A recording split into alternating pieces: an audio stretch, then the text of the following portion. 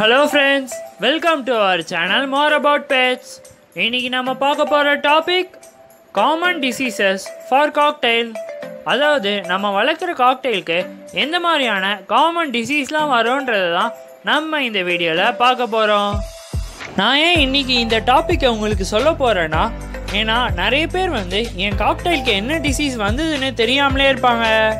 அப்புறம் கடைசியில் அந்த காக்டெயில் கிரிட்டிக்கலான ஸ்டேஜில் அதாவது இறக்குற ஸ்டேஜில் கூட போகிறதுக்கு நிறைய வாய்ப்பு இருக்கு.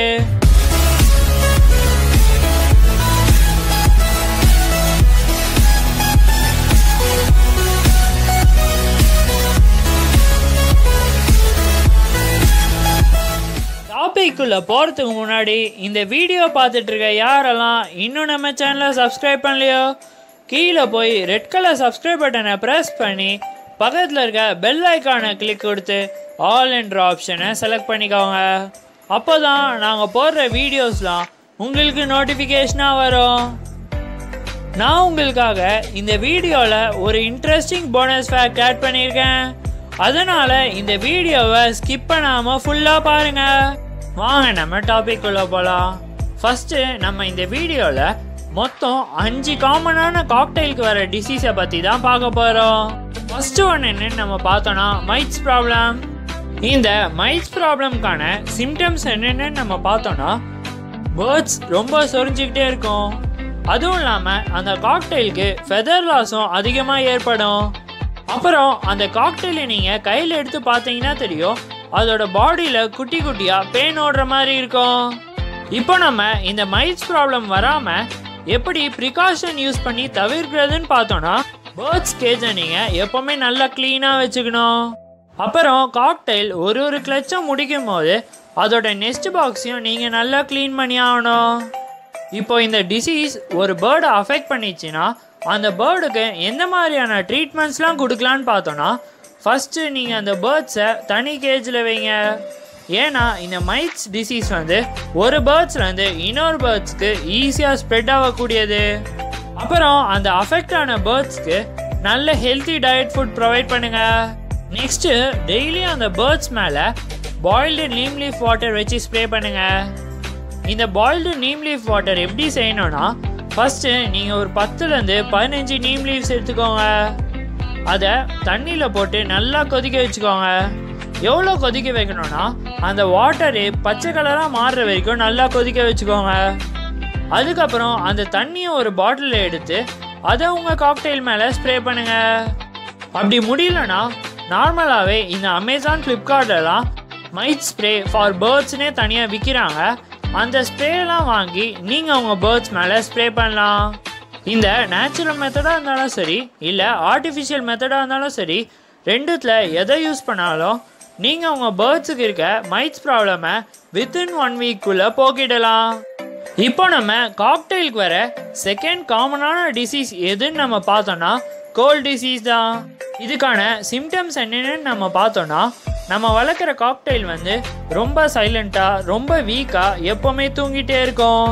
அப்புறம் காக்டெயில்ஸ் நார்மலாக தூங்கும் போது பார்த்தோன்னா அதோட பீக்கை முதுகில் வச்சு தான் தூங்கும். ஆனால் இந்த கோல்ட் டிசீஸ்னால் அஃபெக்ட் ஆன காக்டெயில் வந்து பீக்கை ஃப்ரண்ட்டில் வச்சுக்கிட்டே தூங்கும். அப்புறம் டெய்லியும் சில டைம் தும்பிக்கிட்டே இருக்கும். இந்த மாதிரியான சிம்டம்ஸ்லாம் உங்கள் காக்டெயில் காமிச்சதுன்னா உங்கள் பேர்ட்ஸ் வந்து இந்த டிசீஸ்னால் அஃபெக்ட் ஆயிருக்குன்னு நீங்கள் கன்ஃபார்ம் பண்ணிக்கலாம். சரி. இப்போ நம்ம இந்த டிசீஸ் வராமல் எப்படி தவிர்க்கிறது? ப்ரிகாஷன் பார்க்கலாம் வாங்க. இந்த டிசீஸ் வந்து மோஸ்ட்லி வின்டர் அண்ட் ரெய்னி சீசனில் தான் அக்கர் ஆகும். அதனால் நீங்கள் வின்டர் அண்ட் ரெய்னி சீசனில் உங்கள் பேர்ட்ஸை எக்ஸ்ட்ரா கேர் எடுத்துக்க வேண்டியது ரொம்ப அவசியம். அதாவது இந்த வின்டர் அண்ட் ரெய்னி சீசன்லலாம் பேர்ட்ஸ்க்கு டெம்பரேச்சர் அப்பப்போ சேஞ்ச் ஆகிட்டு இருக்கும். அதுவும் முக்கியமாக நீங்கள் பேர்ட்ஸை அவுட்டோரில் வச்சுருந்தீங்கன்னா கன்ஃபார்ம் அதோட பாடியில் டெம்பரேச்சர் சேஞ்ச் ஏற்படும். அதை தவிர்க்கிறதுக்கு நீங்கள் உங்கள் பேர்ட்ஸ் கேஜை ஒன்று இன்டோரில் வைங்க. இல்லைனா நைட்டு தூங்கும்போது அது மேலே ஏதாவது துணி போட்டு க்ளோஸ் பண்ணிட்டு தூங்குங்க. அப்படியே முடியலனா டெய்லியும் நைட்டு மட்டும் ஒரு ஒன் ஆர் டூ ஹவர்ஸ் அதோட கேஜில் ஒரு எல்லோ கலர் குண்டு பல்பு எரிய விடுங்க. முக்கியமாக அந்த பல்பு வந்து நல்லா ஹீட் தரணும். அதாவது சில இடத்துலலாம் பார்த்துருப்பீங்க கோழி குஞ்சியை பொரிக்கிறதுக்காக இந்த எல்லோ கலர் குண்டு பல்ப் வச்சுருப்பாங்க. அந்த மாதிரியான பல்ப் தான் நீங்கள் யூஸ் பண்ணணும். நெக்ஸ்ட்டு இப்போ நம்ம தேர்ட் டிசீஸ் என்னன்னு பார்த்தோன்னா ஐ இன்ஃபெக்ஷன் இந்த ஐ இன்ஃபெக்ஷனுக்கான சிம்டம்ஸ் என்னென்னு நம்ம பார்த்தோன்னா இந்த காக்டெயில் ரொம்ப வீக்காக இருக்கும். அதுக்கப்புறம் அதோட கண்ணில் ரெண்டு கண்ணில் ஏதாவது ஒரு கண்ணில் அடிபட்டிருக்கும். அந்த கண்ணை சுற்றி இருக்க ஃபெதர்ஸ்லாம் கீழே விழுந்திருக்கும். அப்புறம் அந்த கண்ணில் வந்து பிளட் கிளாட் ஆகி அது லைட்டாக ஸ்வெல்ல இருக்கும் அதாவது கொஞ்சம் வீங்கி இருக்கும் இப்போ இந்த டிசீஸ்க்கான ப்ரிகாஷன்ஸ் என்னென்னு நம்ம பார்த்தோன்னா நீங்கள் உங்கள் பேர்ட்ஸ்க்கு முக்கியமாக அதுவும் சம்மர் டைமில் நல்ல ஹெல்த்தி டயட் ஃபுட் ப்ரொவைட் பண்ணணும். அதுக்கப்புறம் பேர்ட்ஸுக்கு நடுவில் ஏதாவது ஃபைட் வந்ததுன்னா அதை நீங்கள் கண்ட்ரோல் பண்ணணும். உங்களுக்கு பேர்ட்ஸுக்கு நடுவில் நடக்கிற சண்டையை எப்படி கண்ட்ரோல் பண்ணோன்னு தெரியலனா அதுக்காக நாங்கள் ஒரு ப்ரீஃபான வீடியோ போட்டிருக்கோம்.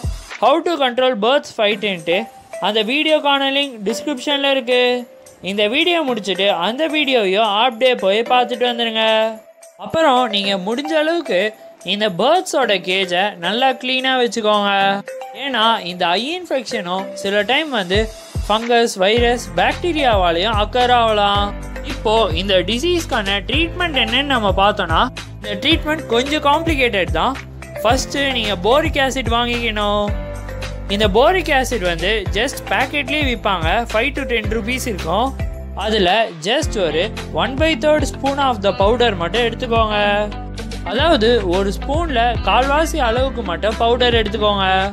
அதுக்கப்புறம் அந்த பவுடரை கொஞ்சம் வாமான வாட்டரில் போட்டு நல்லா கலக்கிக்கோங்க.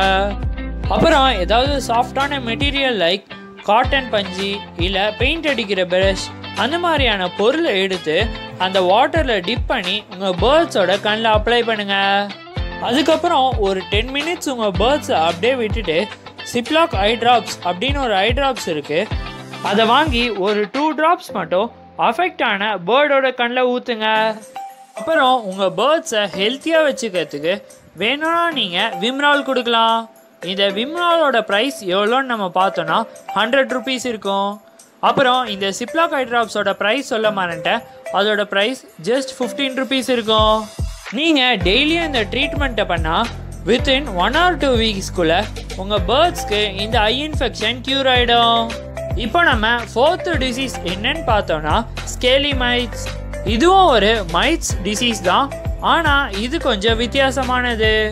இந்த டிசீஸ்க்கான சிம்டம்ஸ் என்னென்னு நம்ம பார்த்தோன்னா பேர்ட்ஸ் ரொம்ப வீக் ஆகிடும் அப்புறம் பேர்ட்ஸோட பீக்லேயும் லெக்லேயும் வந்து நிறைய டெட் செல்ஸ் வந்து செதில் செதிலாக ஃபார்ம் ஆகிடும் அதாவது ஷார்ட்டாக என்ன நடக்கும்னு பார்த்தீங்கன்னா அந்த மைட்ஸ் வந்து அதோட ஸ்கின் அண்ட் லேயருக்குள்ளே போயிட்டு அதோட செல்ஸ் எல்லாம் அரிச்சிடும் சிம்பிளாக சொல்லணும்னா பேர்ட்ஸோட கால்லையும் அதோட பீக்லேயும் ஃபுல்லாக சொறி சொறியாக வந்துடும் இப்போது இதுக்கான ப்ரிகாஷன்ஸ் என்னன்னு நம்ம பார்த்தோன்னா இது ஒரு மைட்ஸ்லேருந்து வர்றதுனால நீங்கள் உங்கள் பேர்ட்ஸ் கேஜை நல்லா க்ளீன் பண்ணி வச்சுக்கணும்.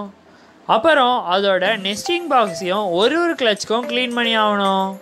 அப்புறம் பேர்ட்ஸ்க்கு அந்த டிசீஸ் வந்தாலும் அதை எதிர்த்து போராடுறதுக்காக நீங்கள் அதுங்களுக்கு நல்ல ஆன்டிபயோட்டிக் கொடுத்து ட்ரெயின் பண்ணி வச்சுருக்கணும் உங்களுக்கு பேர்ட்ஸ்க்கு எந்த மாதிரியான நேச்சுரல் ஆன்டிபயோட்டிக் கொடுக்கணும்னு தெரியலனா அதுக்காக நாங்கள் ஒரு ப்ரீஃபான வீடியோ போட்டிருக்கோம். அந்த வீடியோக்கான லிங்க் டிஸ்கிரிப்ஷனில் இருக்குது இந்த வீடியோ முடிச்சுட்டு அந்த வீடியோவையும் அப்டே போய் பார்த்துட்டு வந்துடுங்க சரி இப்போ இந்த டிசீஸ்க்கான ட்ரீட்மெண்ட் என்னென்னு நம்ம பார்த்தோன்னா ரெண்டு விதம் இருக்குது ஒன்று ஆர்டிஃபிஷியல் இன்னொன்று நேச்சுரல் மெத்தட் ஃபஸ்ட்டு நம்ம ஆர்டிஃபிஷியல் மெத்தட் பார்த்தோன்னா அது ரொம்ப சிம்பிள் தான். நீங்கள் வீட்டில் யூஸ் பண்ணுற வேஸ்லின் ஜெல் எடுத்துக்கோங்க. அப்புறம் இந்த வேஸ்லின் எடுத்து பேர்ட்ஸுக்கு அப்ளை பண்ணுறதுக்காக ஏதாவது சாஃப்டான துணியோ இல்லை பட்ஸோ இல்லை பெயிண்ட் ப்ரஷ்ஷோ எடுத்துக்கோங்க. அதில் எடுத்துக்கிட்டு அப்புறம் உங்கள் பேர்ட்ஸோட பீக்லேயும் லெக்லேயும் அப்ளை பண்ணுங்கள் டெய்லியும் ஒன் டைம் பண்ணால் போதும். இதே மாதிரி நீங்கள் ஒரு ஃபைவ் டு செவன் டேஸ் பண்ணால் போதும். உங்கள் பேர்ட்ஸ்க்கு அந்த டிசீஸ் ஈஸியாக க்யூர் ஆகிடும் இப்போ நம்ம நேச்சுரல் மெத்தட்னு பார்த்தோன்னா நீங்கள் ஃபஸ்ட்டு ஒரு பத்து பதினஞ்சு வேப்பலையை எடுத்து நல்லா அரைச்சிக்கோங்க. அது கூட லைட்டாக வாட்டர் மிக்ஸ் பண்ணிவிட்டு கூட டர்மரிக் பவுடரையும் அரைச்சி எடுத்துக்கோங்க. நெக்ஸ்ட்டு கொஞ்சம் கற்பூரத்தையும் எடுத்து தூள் பண்ணிக்கோங்க. இப்போது இது மூணுத்தையும் கலந்தா ஒரு லிக்விட் மிக்சர் கிடைக்கும். அதை எடுத்து உங்கள் பேர்ட்ஸோட பீக்லேயும் அப்புறம் அதோட கால்லையும் அப்ளை பண்ணுங்கள் இதில் கற்பூரம் வேணும்னா சேர்த்துக்கோங்க.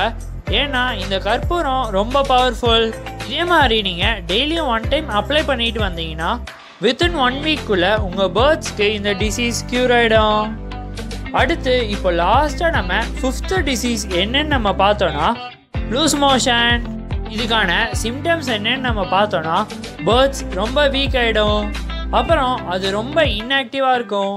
அதாவது மூவ் பண்ணுறதுக்கே ரொம்ப கஷ்டப்படும். அப்புறம் அது பூ பண்ணுற இடத்த பார்த்தோன்னா க்ரீனிஷாக ரொம்ப டர்ட்டியாக இருக்கும்.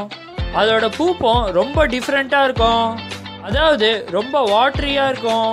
இப்போ இந்த லூஸ் மோஷன் வராமல் எப்படி தவிர்க்கலாம்னு பார்த்தீங்கன்னா நீங்கள் பேர்ட்ஸ்க்கு சாஃப்ட் ஃபுட் இல்லை ஸ்ப்ரவுட் ஃபுட்ஸ்லாம் ப்ரொவைட் பண்ணீங்கன்னா அதை வித்தின் ஒன் ஆர் டூ ஹவர்ஸில் ரிமூவ் பண்ணிடுங்க ஏன்னா அந்த ஃபுட்ஸில் வர பாக்டீரியா வைரஸ் ஃபங்கஸ்னால கூட உங்கள் பேர்ட்ஸ்க்கு இந்த லூஸ் மோஷன் அஃபெக்ட் ஆகலாம். அப்புறம் பேர்ட்ஸ்க்கு ஃப்ரூட்ஸ் அண்ட் வெஜிடபிள்ஸ் ப்ரொவைட் பண்ணும்போது அதை நல்லா கழுவிட்டு ப்ரொவைட் பண்ணுங்கள் ஏன்னா அந்த ஃப்ரூட்ஸ் அண்ட் வெஜிடபிள்ஸில் இருக்க கெமிக்கல்னால கூட உங்கள் பேர்ட்ஸ்க்கு இந்த லூஸ் மோஷன் வரலாம். சரி இப்போ நம்ம இந்த லூஸ் மோஷனுக்கான ட்ரீட்மெண்ட் என்னென்னு நம்ம பார்த்தோன்னா இதுலேயும் மொத்தம் ரெண்டு டைப் இருக்குது ஒன்று வந்து நேச்சுரல் மெத்தட் இன்னொன்று வந்து artificial method first natural method பார்த்தோன்னா இது ரொம்ப ஈஸி நீங்கள் உங்கள் பேர்ட்ஸ்க்கு ஓமத்தை தண்ணியில் போட்டு நல்லா பாயில் பண்ணிவிட்டு அந்த வாட்டரை நீங்கள் உங்கள் பேர்ட்ஸுக்கு குடிக்கிறதுக்கு கொடுக்கணும். அப்புறம் ஆர்டிஃபிஷியல் மெத்தட் என்னன்னு நம்ம பார்த்தோன்னா மெட்ரோஜல் இல்லை நான் மெட்ரோஜல் ரெண்டுத்தில் நீங்கள் எது வேணால் எடுத்துக்கோங்க. அதை முடிஞ்சால் சிரிஞ்சில் எடுத்து நீங்கள் உங்கள் காக்டெயிலுக்கு கொடுங்க. ஒரு ட்ராப் ஒரு காக்டெயிலுக்கு போதும். இதே மாதிரி வீக்லி ஒன்ஸ் மட்டும் ஒன் வீக்லேருந்து ஒன் மந்த் வரைக்கும் கொடுத்துட்டு வந்தீங்கன்னா நீங்கள் உங்கள் பேர்ட்ஸ்க்கு இந்த லூஸ் மோஷன் டிசீஸை க்யூர் பண்ணிடலாம். அப்புறம் உங்கள் பேர்ட்ஸ்க்கு லூஸ் மோஷன் வந்ததுனால பேர்ட்ஸ் ரொம்ப வீக்காக இருக்கும். அந்த டைமில் நீங்கள் உங்கள் பேர்ட்ஸ்க்கு ஓஆர்எஸ் பவுடர் இல்லை எலக்ட்ரால் பவுடரை வாட்டரில் கலந்து கொடுக்கலாம். சரி இப்போ இந்த டிசீஸில் எந்த டிசீஸ் உங்கள் பேர்ட்ஸ்க்கு அடிக்கடி வருதுன்றத மறக்காமல் கீழே கமெண்ட் பண்ணுங்கள் ஓகே ஃப்ரெண்ட்ஸ் இந்த வீடியோவில் நான் சொன்ன இன்ஃபர்மேஷன்ஸ்லாம் உங்களுக்கு யூஸ்ஃபுல்லாக இருக்கும்னு நினைக்கிறேன். அப்படி யூஸ்ஃபுல்லாக இருந்ததுன்னா நம்ம வீடியோவுக்கு ஒரு லைக் கொடுங்க.